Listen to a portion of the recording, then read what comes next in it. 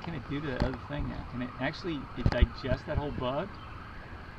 It'll inject it, and with the venom, and the venom will start to digest it, Is that right? and then it can suck out the insides and so forth.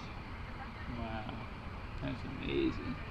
Where's the mouth of the thing? Okay, where does it inject you? It's got some kind of. Where, wherever it wants. Does it have? I mean, does it have something that? It's Wow. still moving. It has the fangs, you know. Yeah, see, It's if still you, moving, but he's You can got. see his fangs. You see uh, over here. Oh, okay. He's got some Fangs are coming out a little bit. Oops. Now he's biting him. He's coming around to bite him. Oh yeah. Okay. He just had to find the right spot to get into the shell.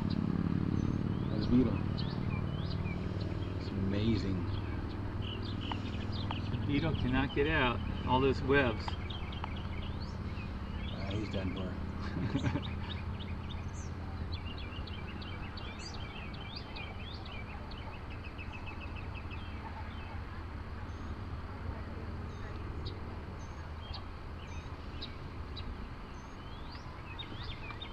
oh!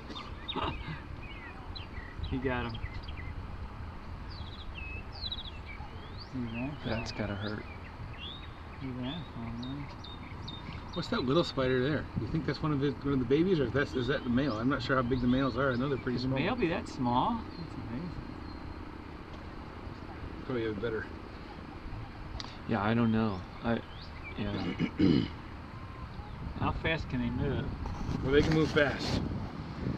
Gotta be ready to kill it quick. Did you see how fast he moved just a minute ago? Yeah, that's true.